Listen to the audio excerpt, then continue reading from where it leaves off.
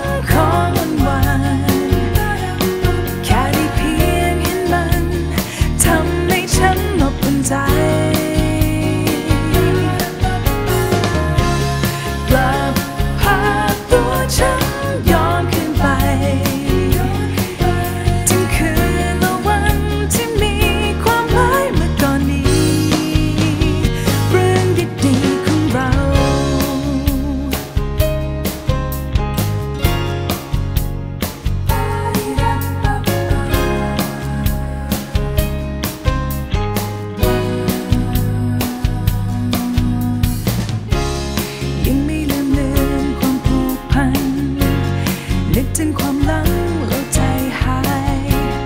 คำพูดบางคำจำติดใจ